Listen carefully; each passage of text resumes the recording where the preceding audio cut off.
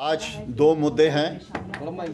जो दो मुद्दे हैं सबसे बड़े, कि हमारे जे एंड के का जो प्रोडक्ट है, वो कॉरपोरेशंस ने, जितनी भी ओमसी हैं, उन्होंने जम्मू से डिलीवर करने के बजाय पंजाब और हिमाचल और हरियाणा से जो माल है, वो डिस्पैच करना शुरू कर दिया है।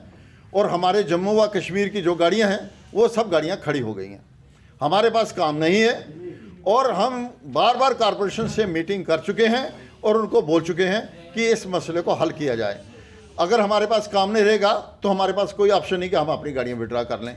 दूसरा, हमारी आर्मी जो है, उन्होंने लूट कसूट मचा रखी है।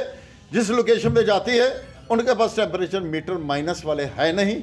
ज़ीरो डिग्री वाले टेम्परेचर है मीटर है। और उन्होंने क्या कर रखा है कि माल शार्ट करते हैं ड्राइवरों को कहते हैं, पैसे दो। जब ड्राइवर पैसे दे देता है, उसका माल पूरा कर देते हैं। मैं कहता हूँ कि हमारी मीटिंग जो है, जल्दी से जल्दी आर्मी से या स्टेट गवर्नमेंट से करवा दी जाए, लेकिन हमारे हाथ खड़े हैं। पिछले दिनों हमने सरकार को कह दिया ऑयल कंपनी को कह दिया था, हम बंद करने जा रहे हैं। तो ऑयल कंपनी ने हमारी मीटिंग सुनी, लेकिन मुद्दा कोई भी हल नहीं किया।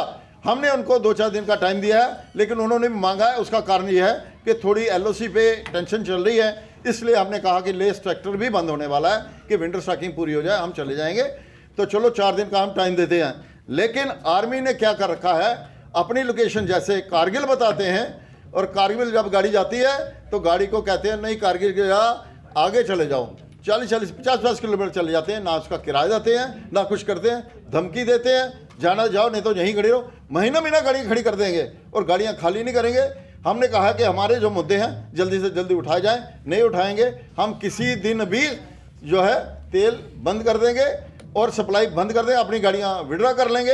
अगर हमारे मुद्दे हल नहीं होते तो ये किसी दिन भी हो सकता है।